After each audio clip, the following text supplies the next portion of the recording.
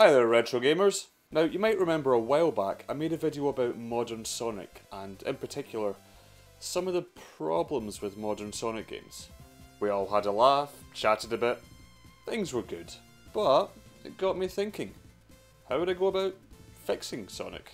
Now, full disclosure, I'm not a programmer or a games designer or an artist of any kind. Really, I'm just someone who got pretty drunk and managed to make somebody at Geek and Sundry laugh. I'm just a bit lucky, alright? But I do have some ideas. Christian Donlan said the following in his review of Super Mario 3D World for the Wii U. The best theory I've ever heard regarding the mysterious way that Mario games get made runs like this.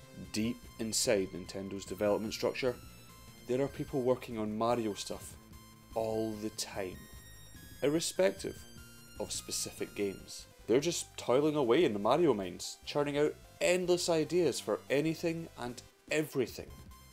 Bosses, enemies, collectibles, traversal gimmicks, ghost house, hallways, the works.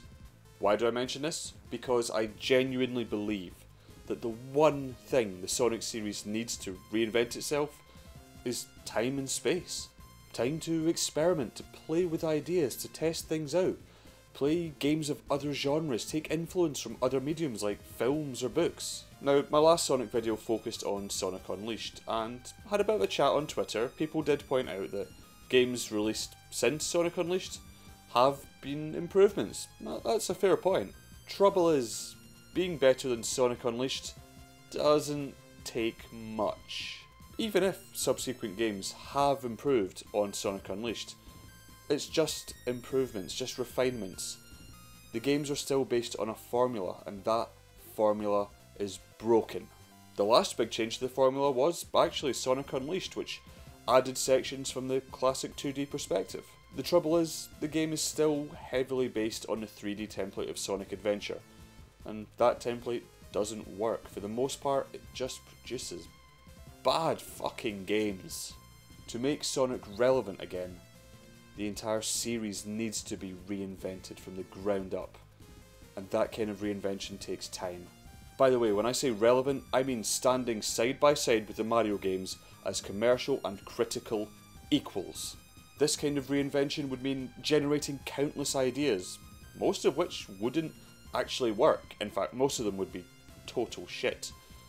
But it's all part of a process towards finding small ideas that work and building upon them it would mean running the risk of not having frequent Sonic games come out to, you know, keep the brand alive, but at this point, I'd argue that modern Sonic games do more damage to the Sonic brand than anything else. There needs to be a new way to make Sonic games, and we need the time to find it.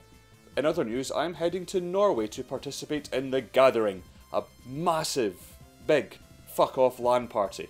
I'll be heading there as part of a crew from Geek and Sundry, including Amy Dallen and Sachi. So, if you see us, come say hi. So, please, go check out Amy, go check out Sachi, and please go check out The Gathering. Links are in the description. Also, do me a favour, hit like, hit subscribe, tell your friends, all the rest of that shit. That's all for this time. There'll be a new Old School Pixel Party coming out next Thursday, and uh, see yous.